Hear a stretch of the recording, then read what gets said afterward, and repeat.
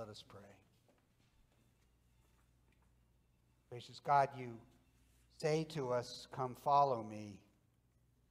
And that's what we are seeking in your word today.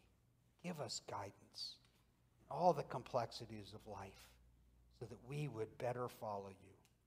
In Jesus' name, amen.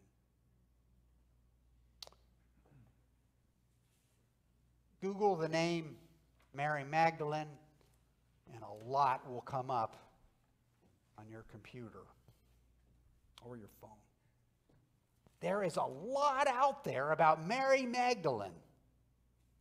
And judging from the legends and also the myths that are out there about her, I'd have to say that, well, Mary Magdalene, who, judging from these, Mary Magdalene, who, by the way, came from the, uh, the, the town up in Galilee near Nazareth, where Jesus is from, called Magdala, judging from the legends and the myths that are out there about her, it seems to me that it's fair to say that she may be right near the top of most fascinating followers, most fascinating disciples most fascinating apostles.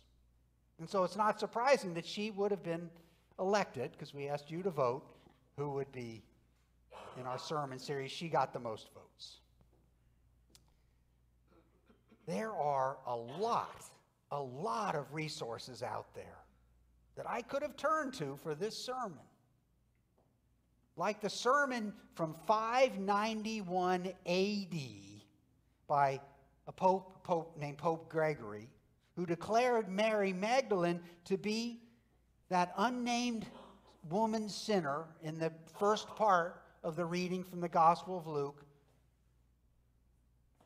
The woman who anointed, so beautifully anointed Jesus with, with, with her tears, with her hair and her water, and, and, and oil, I should say.